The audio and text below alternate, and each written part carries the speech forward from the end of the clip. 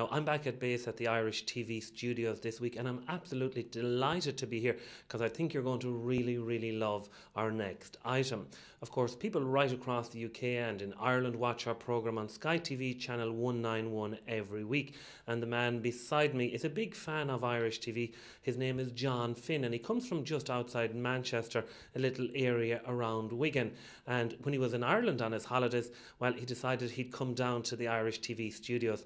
And while here, I said, well, I might as well find out a little bit more about him. You're very, very welcome to the studio, John. Thanks very much, Pierce. Uh, well, we're touring around, and because of uh, our son Martin, he's got severe autism, but he's a, a real lover of, a real passion for music, uh, Irish music, uh, country music, pop music. So we decided we'd track down uh, Irish TV, and we got a very warm welcome. So we're here, and hopefully Martin might do a bit of singing in a bit. Now, tell us a little bit. You've been watching our programme uh, out and about in Ireland for a while. Oh yes, we never miss it. Um, Martin, uh, he just can't wait. He's uh, he's waiting it for maybe 15, 20 minutes before the program will come on. So it's a it's definitely the television has to be pretty well tuned in for for anything to do anything to do with Ireland. It's um, Irish TV is is doing a marvelous job. So we're really very grateful to be invited in here today, and hopefully Martin will, I say, will do a bit of singing later on. Now, John, you mentioned that uh, Martin was uh, born with severe autism.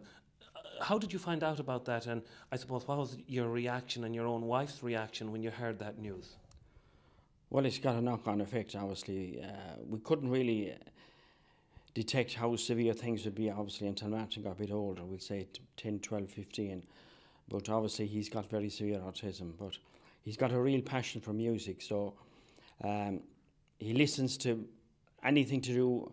Lots of he's got quite a, a choice of music, really, um, pop music, um, country music, Irish music in particular. Irish country music is probably his favourite. So, and uh, how would you describe his autism? Uh, to describe really, he's 21 year old, and I would say in plain terms, he's got all the symptoms of a toddler really. Uh, he's got no sense of danger. He's non-verbal. Um, like really, he's got all the symptoms of a toddler. So he has never ever spoken. No, he's ne- he's got the odd word, but he hasn't really. You couldn't have a conversation with him because he, he can't really put meaning to the words as such. Uh, for how he can sing really is amazing because he will sit at home and he will play CDs.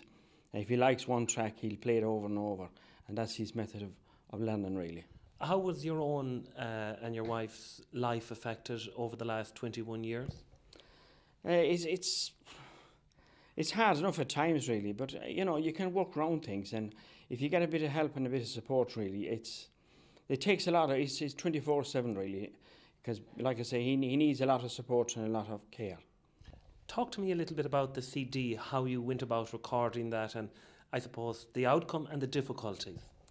Well, yeah, I mean, again, his, his teacher, Calvin, um, I think he picked up at school that he, he would be trying to teach him lots of different things, and he discovered Martin would just sing louder and louder. So I think he decided to, to get a karaoke machine and work, get some backing tracks and one of his teachers was getting married. There's a bit of a story attached to it. One of the lady teachers, and they asked Martin to come if he would sing at the wedding. And a lot of the people were really surprised um, how well he could sing for somebody that was non-verbal. And this is really how the CD was put together, and there was you know some great people involved uh, that really helped with it. Now, people watching will be amazed because they'll say, "Well, he cannot speak and he doesn't have words." How does he remember the words of the songs then? It's a mystery, really. But he, he, you know, he will sit at home and he will, if he gets a new CD, and there's one or two tracks he likes, he will play them over and over, and then he's got it because he can't really learn them anything as such. He can't get in there to. It's it's really like a copying machine, really. Whatever comes out of the other end, that's what you that's what you have.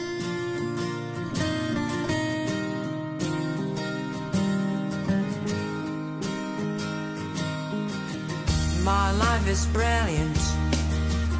My life is pure. I saw an angel I'm sure She smiled on the subway. She was running off a man. But I wouldn't sleep on that, cause I've got a plan.